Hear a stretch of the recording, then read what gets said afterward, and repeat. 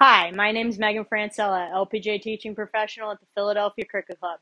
Today I want to talk to you about one of the most common flaws I see in amateur golf early extension or standing up out of your posture. I want to show you what I mean by that. So when I take a backswing, I'm nice in my, my, my posture here, and when I get to impact, I've now stood up or I've early extended. My belt buckle has gone towards the golf ball.